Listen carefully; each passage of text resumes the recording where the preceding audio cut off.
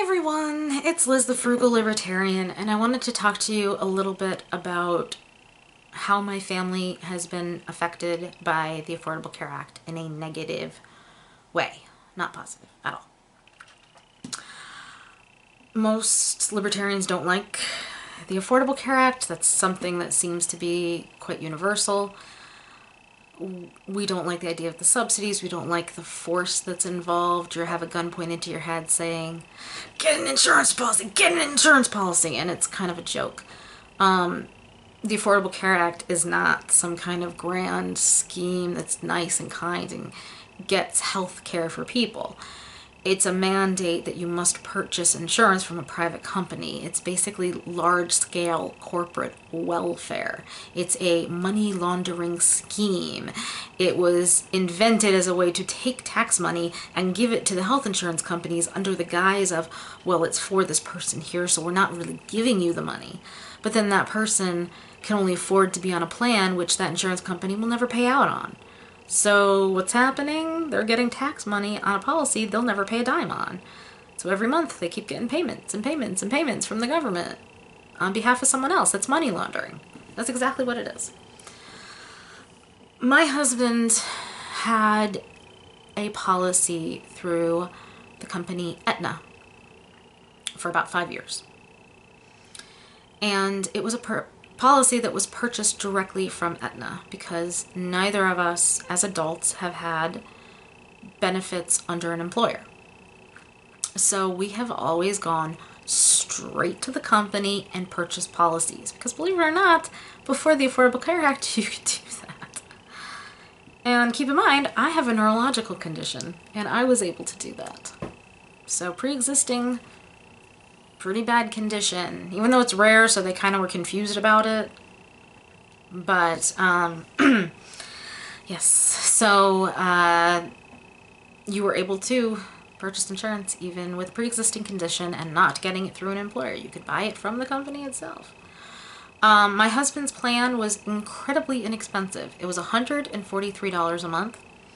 It had a $5,000 deductible with a giant but. The only thing that went into the deductible was like hospitalization and emergency care and things like that. He had a copay for doctor's visits. He had a copay for prescription medications.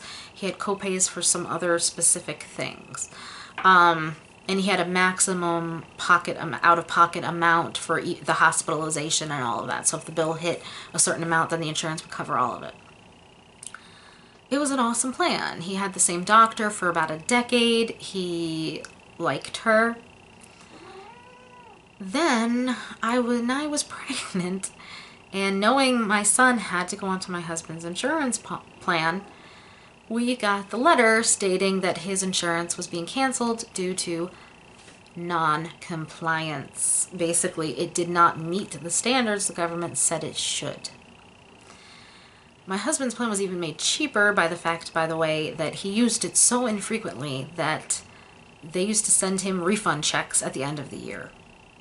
So it even costs less than that per month if you counted in the refund checks. But yeah, it was deemed non-compliant. So then my husband got thrown, like everyone else, and my son too, on top of it, into the healthcare exchange. Connecticut's healthcare exchange, Access Health, is a joke. It is the most group of most incompetent people on earth. Seriously.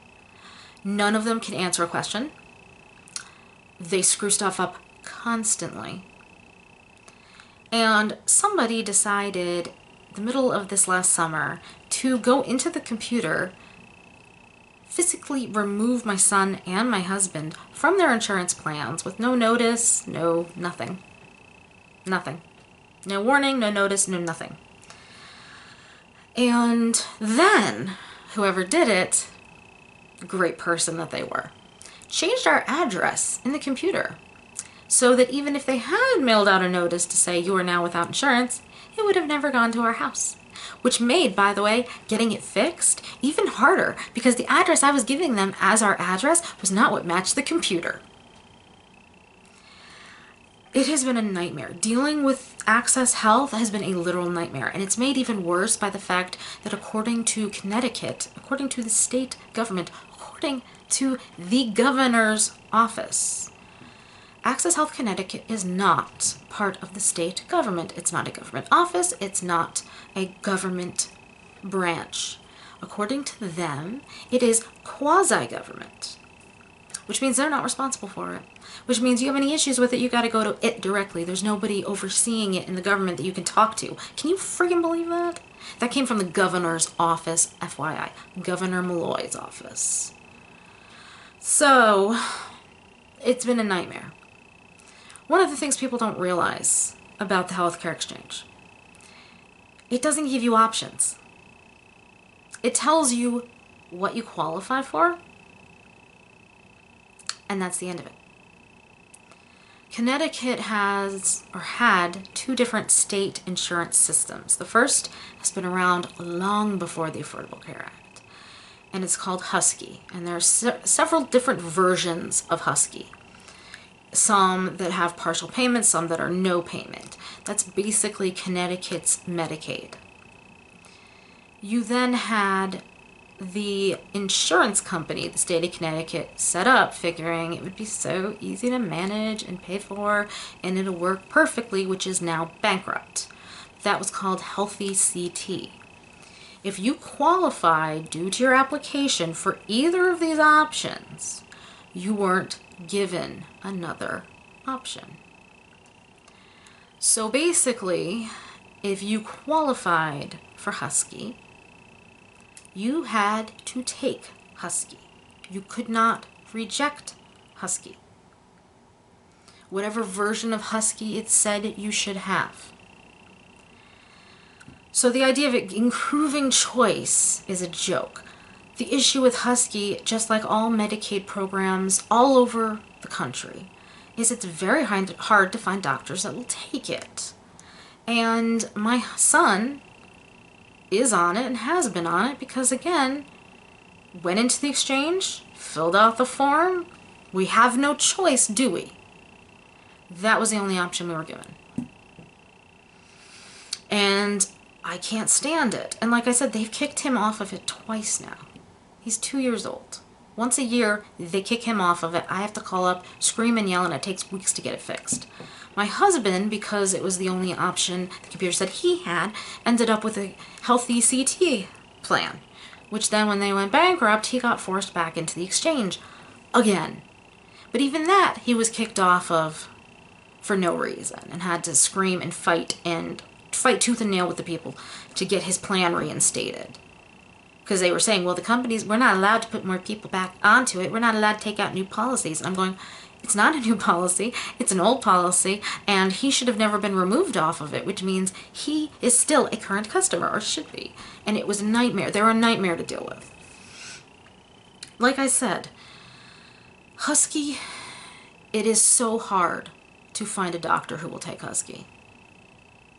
Most it, they it pays so little that the doctors don't want to accept it find the pediatrician we really wanted our son to go to. He took his first appointment there and we really liked her. Turns out she doesn't take Husky. So when he ended up on Husky, when he was no longer on the Aetna plan, when the Aetna plan was canceled, we had to find a new pediatrician. And I, I don't even know how many I called trying to find one that would take him. The only reason his pediatrician took him is because I had the recommendation of two current patients who are students of mine. So they took him because it was like, well, we don't want to look bad in front of our current patient who's recommending you. Here you go. You can come into the practice, but don't tell anybody because we're not accepting Husky people. So that's what you deal with. I see for my medical condition five, I had to count, I see five different specialists for my health problem. Um, they each do different specific things, but they are the doctors I see on a regular basis. Five. Now, how many of those do you think would accept a Husky plan? Because I asked, just to ask. One. And some of them are specialists that there is no other specialist in the area for me to take, like to go to. I have to go to that specialist. There's no one else who will treat me.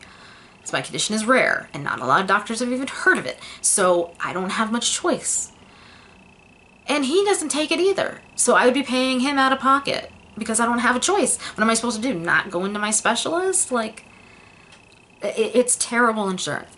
Terrible. Every person who sits there and says, we need universal Medicare has never been on Medicare, has never actually had a discussion with doctors about Medicare and saw how few it is. There's a reason people complain Medicare is so expensive because all the people on it go to the emergency room for an ear infection or a sore throat instead of going to the doctor and then we have to pay medical, you know, ER medical costs and it's so much higher. There's a reason for that because no other doctor will take them. So they have to go to the ER because the insurance is terrible. It's awful. It's not real insurance. And that's where we come into the big kick in the face that is the Affordable Care Act. Insurance isn't care. Insurance doesn't guarantee care. I have needed an MRI for two years. My Aetna plan wouldn't let me get it. And I'm now on a different plan finally, and now I can get it. It didn't increase, having Aetna didn't increase my care, did it? No, it decreased my care. When you are no longer the person in charge of your care, because you're not the one paying for it, you don't have a say anymore in the care you're getting.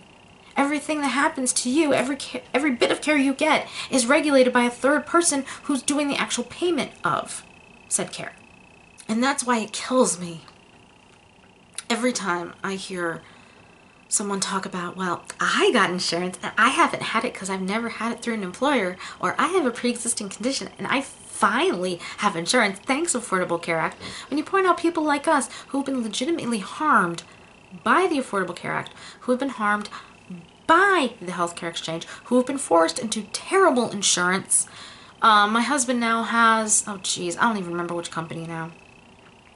The plan is bloated. It's expensive. It's like $400 a month. It has a massive deductible. He can't go to a doctor without paying into the deductible.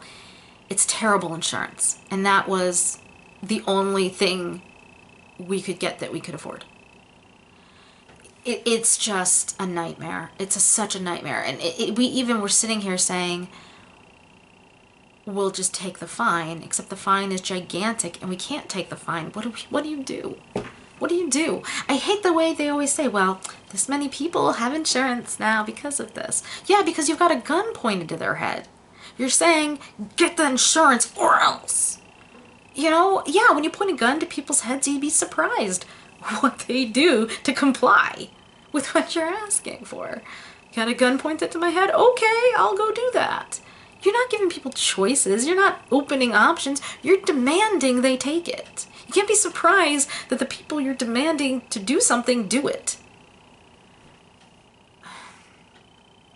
It's just been awful. Like I said, and and I my husband actually, before the Affordable Care Act, because again, his insurance, he hadn't used it in so long, it was still less, much less expensive than these other plans. But we were saying, can we do this cheaper? And we discussed, why don't we get you a catastrophic plan? So in the event that he is in an accident and has to go to the ER, or in the event that he has cancer and needs cancer treatment, something like that, it'll cover it. And we take you know, though I think when we were pricing them, that would be like 50 bucks a month. So I said, we'll take another 50 every month and put it into a health savings account in your name, and we'll have saved $43 every month. And we were saying this would be perfect because, like I said, and then use the health savings account to pay if he wants to go to the doctor, pay out of pocket. If he has a prescription, pay out of pocket through the health savings account. We had this whole plan set in place. And then the Affordable Care Act happened. And catastrophic plans were non compliant and you would have to pay the fine if you got one. So that's when we were for like I said, and at first we thought, okay, well his Aetna plan is compliant because they weren't canceling it, and we were kind of going, okay, we're good, we're good.